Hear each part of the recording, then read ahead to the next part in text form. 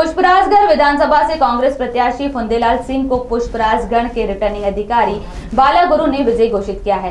फुंदेलाल सिंह को कुल बासठ हज़ार तीन सौ बावन मत प्राप्त हुए हैं, जबकि उनके प्रतिद्वंदी भारतीय जनता पार्टी के प्रत्याशी नरेंद्र सिंह मरावी को कुल चालीस हज़ार नौ सौ इक्यानवे मत प्राप्त हुए हैं। इस तरह कांग्रेस के प्रत्याशी फुंदेलाल सिंह ने इक्कीस हज़ार चार सौ एक मतों से जीत हासिल की। इनके अतिरिक्त बीएसपी के नैन सिंह दुर्वे को एक हज़ार सात सौ तेरह मत, सीपीआईएम के बिशंबर सिंह मार्को को दो हज़ार छह सौ छप्पन मत जीजीपी के अनिल सिंह दुर्वे को उन्नीस मत प्राप्त हुए हैं।